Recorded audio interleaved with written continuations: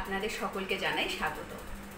বৈশাখ প্রায় শেষ আর জ্যৈষ্ঠ শুরুর পথে। বাজারে কাঁচা এবং পাকা দুটি আমই অ্যাভেলেবেল আজ আমি আপনাদের কাঁচা পাকা আমের শরবত করে দেখাবো। আর সামনেই জামাই ষষ্ঠী, আপনারা এই কাঁচা পাকা আমের শরবত জামাইদের সার্ভ করে দিতে পারবেন। তাহলে দেখে নিন আমি কীভাবে এই কাঁচা পাকা আমের শরবত করছি। এখানে আমি দুটি পাকা আম নিয়েছি আর একটি কাঁচা আম নিয়েছি। দুরকম আমেরই আমি খোসা ছাড়িয়ে নিয়েছি।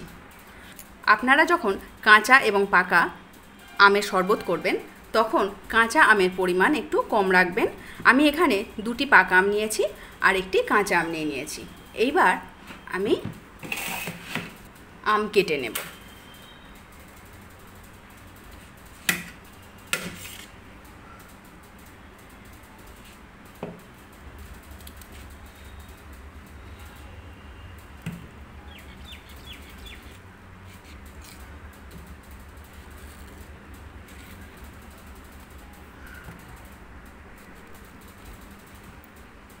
এইভাবে আমি সমস্ত আম টুকরো টুকরো করে নেব। কাঁচা এবং পাকা দুরকম আমকেই আমি টুকরো করে নিয়েছি। এবার একটি মিক্সিং জারে আমি আম দিয়ে দেব। টুকরো করা আম সমস্ত দিয়ে দেব।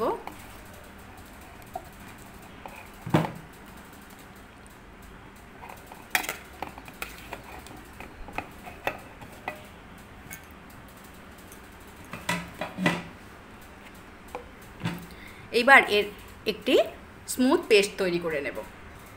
এখানে আমার পেস্ট একদমই রেডি এইবার একটি পাত্রে আমি এই রকম ছাঁকনি নিয়ে নিয়েছি। আমি এই পেস্ট ছেঁকে নেব।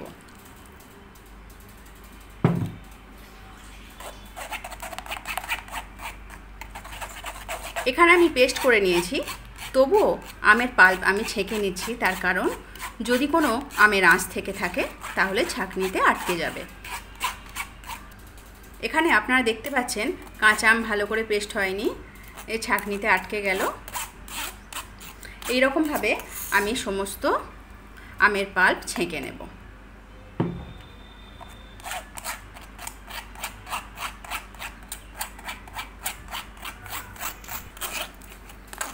এইভাবে সমস্ত আমের পাল্প আমি ছাঁকনির সাহায্যে ছেঁকে নিলাম।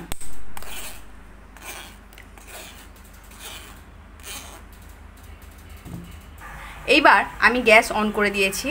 গ্যাস অন করে কড়াই বসিয়ে দিয়েছি গ্যাসে। এইবার ছেঁকে রাখা আমের পাল্প আমি দিয়ে দেব।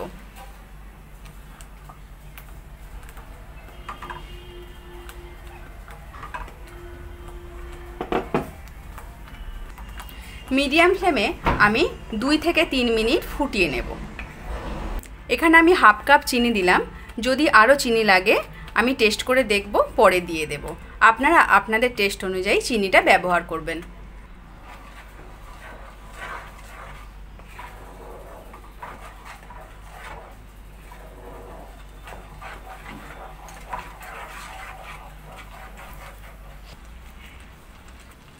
আমি এখানে টেস্ট করে দেখলাম আর একটু মিষ্টি হলে ভালো হয়। তাই আমি ওয়ান ফোর্থ কাপ চিনি আরও অ্যাড করে দিলাম।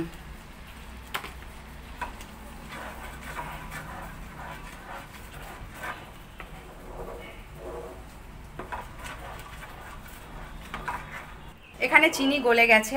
প্রায় চার পাঁচ মিনিট আমের পাল ফুটিয়ে নিলাম। আর ফোটানোর দরকার নেই। এইবার আমি গ্যাসের ফ্লেম অফ করে দেবো।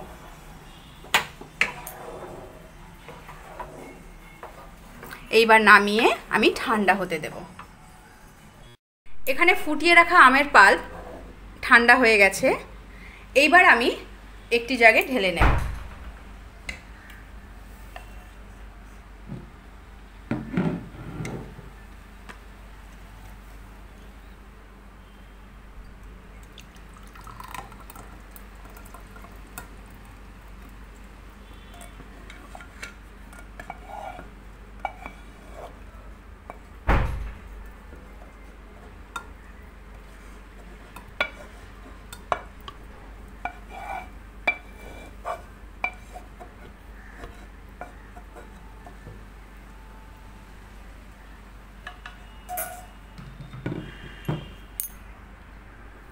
এইবার আমের পাল্পে আমি পরিমাণ মতো জল দিয়ে দেব।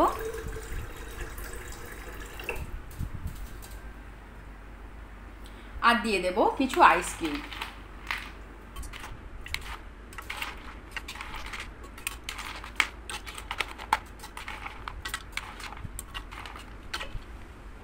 এবার একটি চামচের সাহায্যে ভালো করে ঘেঁটে নেব।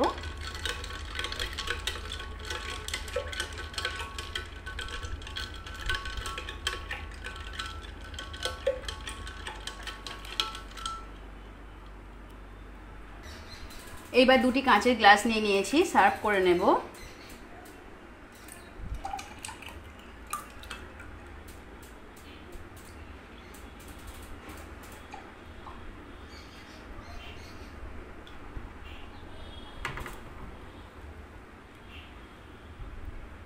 স্ট্র দিয়ে দিলাম।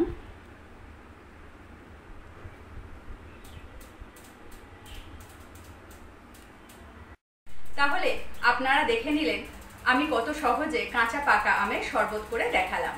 আপনারাও বাড়িতে অবশ্যই ট্রাই করবেন, আর আপনাদের এই কাঁচা পাকা আমের শরবত কীরকম হলো, আমাকে অবশ্যই কমেন্ট করে জানাবেন। আর যদি ভিডিওটি ভালো লাগে, আর রেসিপিটি যদি ভালো লাগে, তাহলে একটি লাইক করবেন, আর সকলের সাথে শেয়ার করে দেবেন। আর প্লিজ সাবস্ক্রাইব করতে ভুলবেন না। আজ তাহলে এই পর্যন্তই, ফিরে আসব অন্য কোনো স্বাদের রেসিপি নিয়ে।